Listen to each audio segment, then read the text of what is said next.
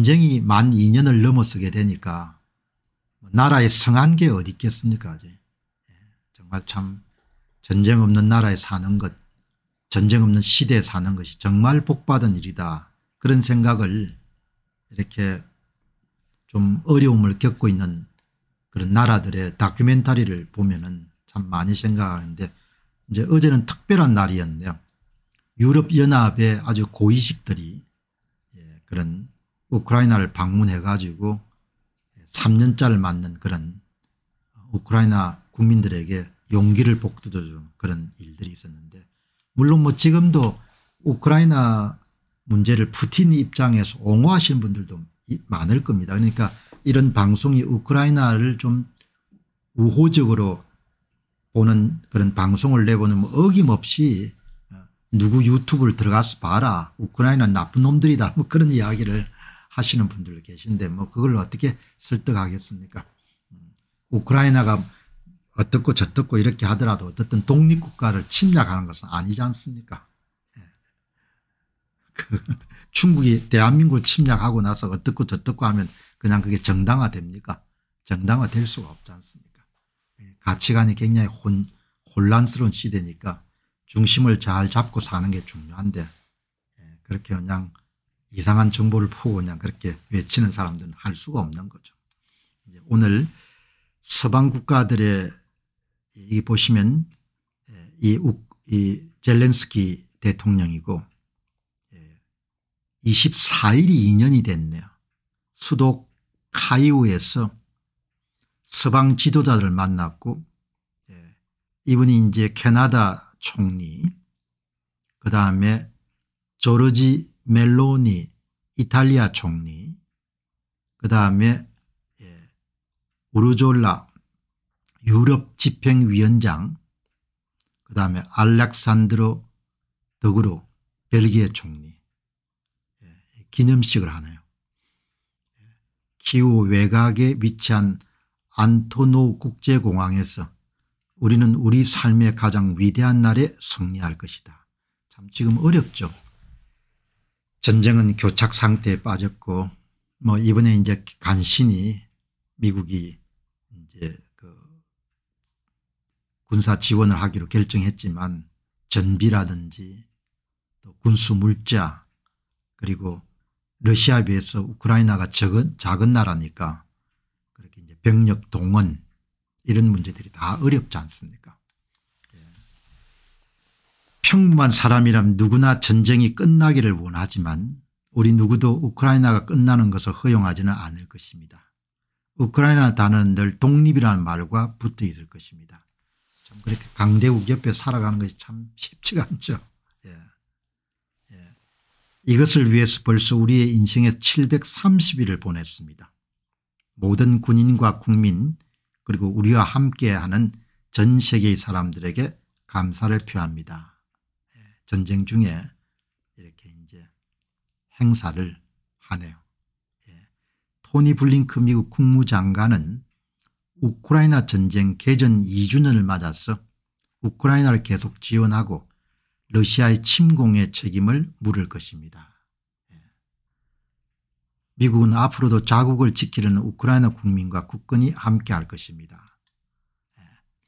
푸틴의 전쟁은 우크라이나뿐만 아니라 미국과 북대서약 조약기구 동맹국의 안보 그리고 우리가 의존한 자유롭고 개방된 국제 질서를 위협합니다. 미국은 한 민족적 주권국가의 자유를 수호하기 위해서 모두 나토 회원국과 주요 회원국을 포함한 50개국 연합체를 구성했습니다. 우리는 함께 푸틴의 러시아가 한 행동에 대해 대가를 치르게 하고 러시아의 범죄 책임을 물을 것입니다. 이렇게 이야기를 했는데 전황은 그렇게 박지가 않죠. 전황은 박지가 않은데 그러니까 참 무력하죠. 예. 그냥 독립국가가 이렇게 침략을 당해도 이런 문제를 국제사회가 연대를 통해 가 해결을 할 수 없는 상황이 됐으니까. 예.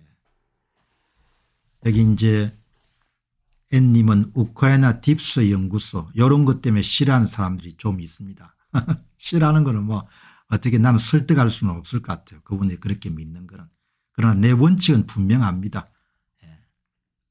독립국가를 침략하는 것은 어떤 경우든 간에 있을 수가 없다는 거죠. 예, 딥석은 뭐든 간에. 그러니까 이런 이야기하면 또 싫어하는 사람도 있겠죠. 뭐 싫어하는 사람은 또 어떻게 하겠습니까. 예. 대한민국이 뭐죠 그냥 침략을 당해서 또 이런 저런 이유로 그 침략이 정당화될 수 있는 건 아니지 않습니까. 그러니까 사람이 세상사를 보든 자기 인생사를 보든 간에 반듯한 가치관과 인생관과 세계관과 역사관이 있어야 올바로 평가하는 거죠. 그래야 여러분들 작은 예, 그런 편리 같은 정보에 휘둘려 가지고 예, 뭐 엉뚱한 이야기를 하거나 그렇게는 안 하는 거죠. 예. 푸틴은 어떻게 여러분들 옹호를 할 수 있겠습니까 예.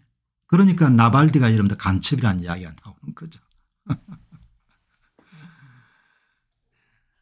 그러니까 제 이야기 요지는 지금 뭐 워낙 저마다 똑똑한 사람들이 많으니까 뭐 똑똑한 대로 믿고 사는 거는 좋지 않습니까 예. 그런데 보편적 가치를 향한 그런 흐름이 세계사다 이렇게 받아들이게 되면 은 해결, 이 다 되지 않습니까 그렇게 그런 어떤 가치관이 명확하지 않기 때문에 예. 아니 선거는 우리가 여러분들 이기면 다 선이다 이렇게 생각하는 사람들도 많지 않습니까 그러니까 예. 어쨌든 뭐 너무 이렇게 혼란스러운 세상이니까 작은 정보를 가지고 그냥 자기가 믿고 있는 걸 옳다고 그냥 우기는 사람들을 어떻게 하겠습니까 할 수 없는 사람들이죠.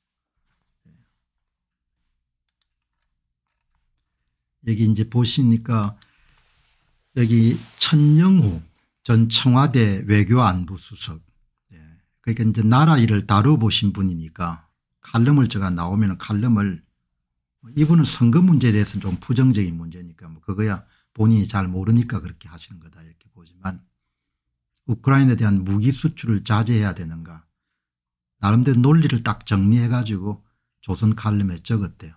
예. 그런데 뭐 이 마지막 논리가 보면은 예.